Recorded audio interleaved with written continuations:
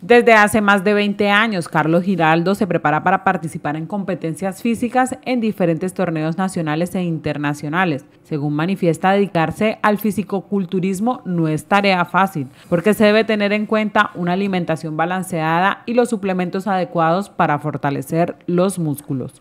Vamos a iniciar la preparación para el campeonato que hay de Megaplex en Bucaramanga en octubre y la Copa Navidad que se realiza entre noviembre y diciembre de este año, de lunes a sábado. Es el entrenamiento, los domingos se descansa y eso va acompañado de una dieta de la cual son mínimo de 5 a 6 comidas diarias. Carlos ha participado en campeonatos nacionales, departamentales, competencias suramericanas y la más reciente, el Panamericano Olímpico en la ciudad de Lima, Perú, en donde ha logrado ganar medallas. Aproximadamente 22 años empecé a entrenar y a realizar el fisiculturismo como parte de mi vida.